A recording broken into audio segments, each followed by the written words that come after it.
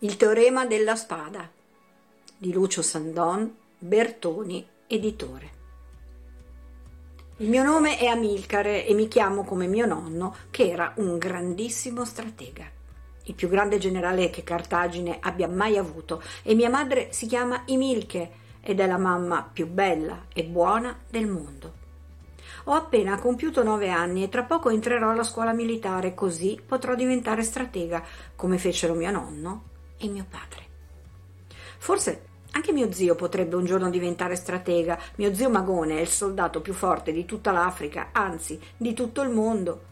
Lui è grande come un orso e la sua voce è come il tuono.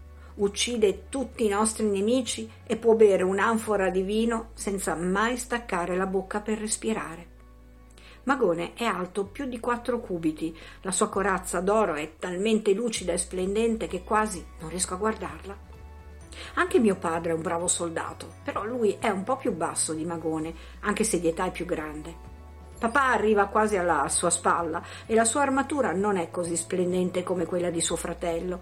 È di semplice cuoio nero, con delle borchie di rame, puzza un po' di sudore di qualche altra cosa, ma non proprio tanto. Mio padre è un cane, è un mastino da guerra che si chiama Uruk Uruk è grande, nero, sembra ferocissimo, invece è un cagnone buono e mi vuole bene.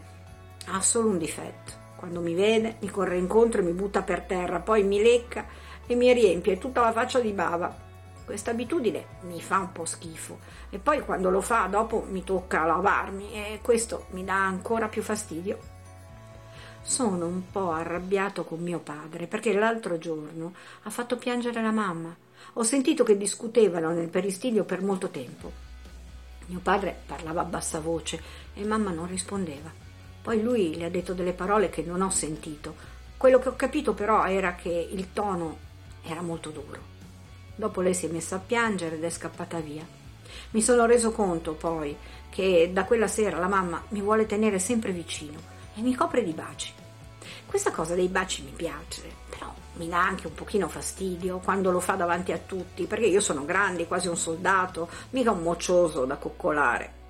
Quando le ho chiesto cosa fosse successo, perché avesse litigato con papà, lei non mi ha risposto e si è messa a piangere di nuovo. Allora sono andato da mio zio Magone e ho chiesto anche a lui cosa stesse succedendo.